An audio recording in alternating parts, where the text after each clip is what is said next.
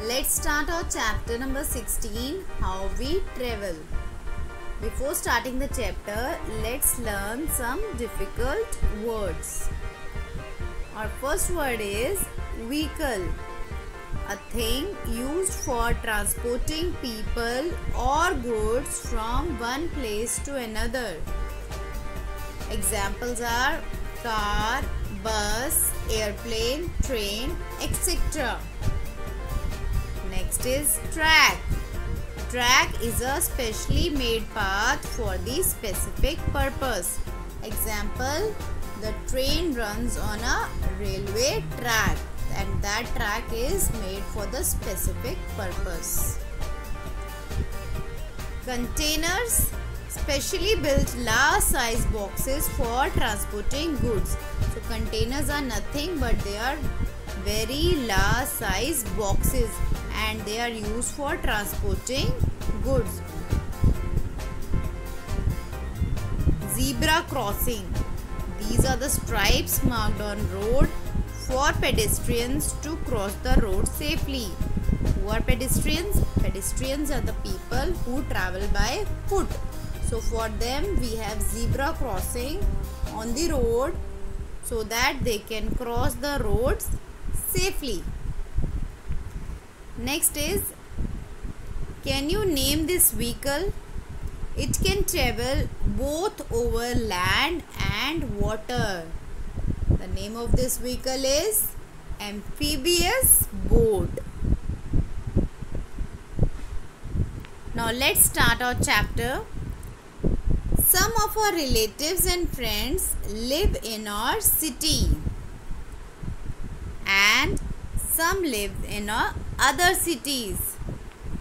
We like to meet our relatives and friends. We have to find some ways to reach their homes. Some of our relatives and friends also live in other countries. We use bicycle, rickshaws, tongas, scooters, etc. to travel within the city. We can use cars, buses, trains, ships or aeroplanes to travel long distances. These are called means of transport. So all the vehicles come in the category of means of transport. That means what is means of transport? They are used for the vehicles which are used for traveling from one place to another. Either they can transport the goods or people. Alright. So all these come in means of transport. These are bicycles, rickshaws, tongas, buses, trains.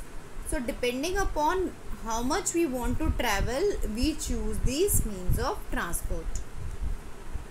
Some vehicles can move on land, some in air and some on water. So there are three means of transport. These are land transport, air transport and water transport. All these come in land transport. This is train bus car. And water transport vehicles are ship boat yacht. Air transport is helicopter aeroplane and parachute.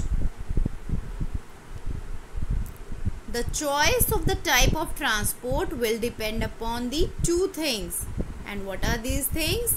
Distance to be traveled how much we want to travel and amount of one money we want to spend. Animals are used for transporting persons and goods.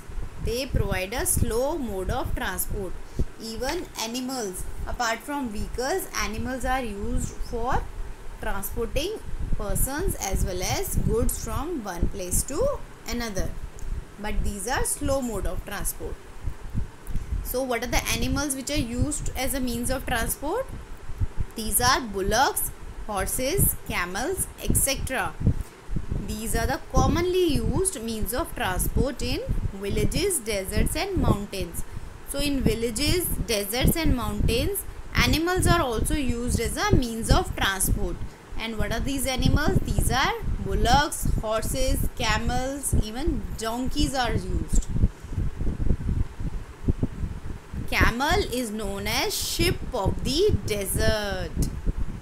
This is the picture of camel and camel is known as the ship of the desert. The main means of land transport are cars, buses, trucks, trains, scooters, bullock carts, tongas, etc. These vehicles use roads or railway tracks for their movement. So, for land transport, which medium is used? Land. So, for these movements, either the vehicles use roads or railway tracks for their movement. Metro rail is a new type of fast transport in big cities. Metro rail is also you know that metro rail is known as the lifeline of Delhi and this is a new type of transport and it is very fast. Now let's see some land transport examples. This is car, bus, truck, train, scooter, bullock cart, tonga. All these are land transport vehicles.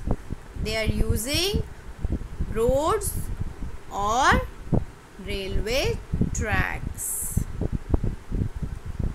Now let's see air transport. An aeroplane can fly in the air like a bird. It takes less time to transport people and goods to long distances.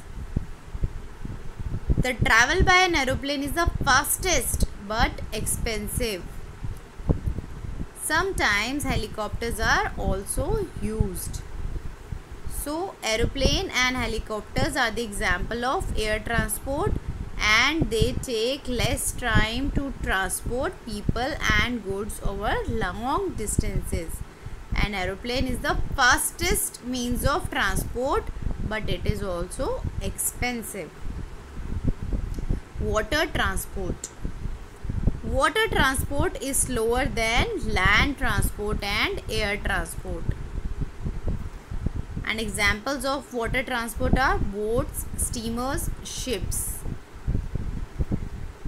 Ships are also used to carry people and goods to far off countries. So if we want to go from one country to another or if we want to transport the goods from one country to another then ships are also used for that purpose apart from aeroplanes.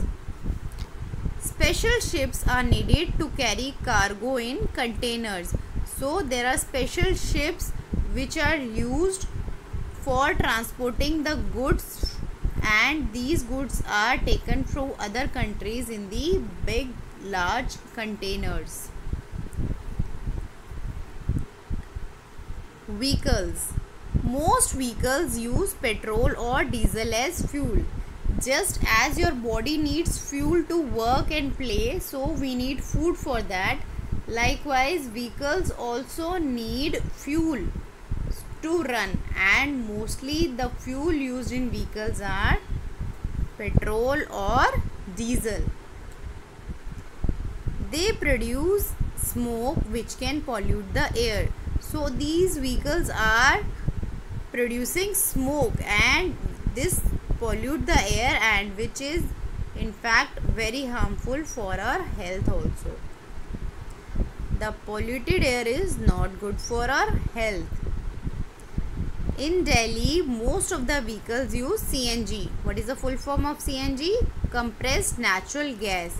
And CNG causes less pollution. So you have seen the vehicles in Delhi. They are mostly of green color and CNG is written over there. See, can you see this? CNG is written.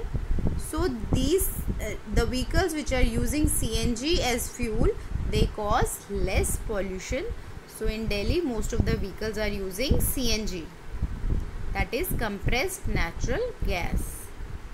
Now let's see about road safety. In a small town we walk to go to school market or to the house of our relatives and friends. We should protect ourselves from the fast moving vehicles on the road. So if we are moving on the road we need to protect ourselves from the moving vehicles.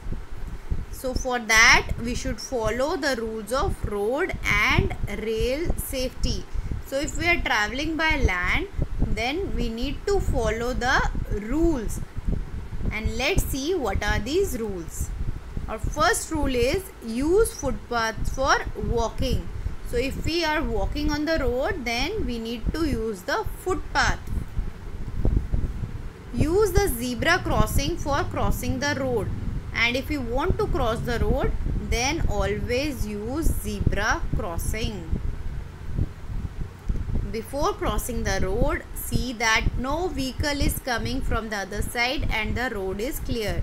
So before crossing the road you need to ensure that the road is clear and no vehicle is coming from the other side do not get in or get off a moving vehicle. If any vehicle is moving then do not get in or get off. Always follow the traffic lights. If the traffic light signal is red then stop. Yellow means be ready and green is you can move safely.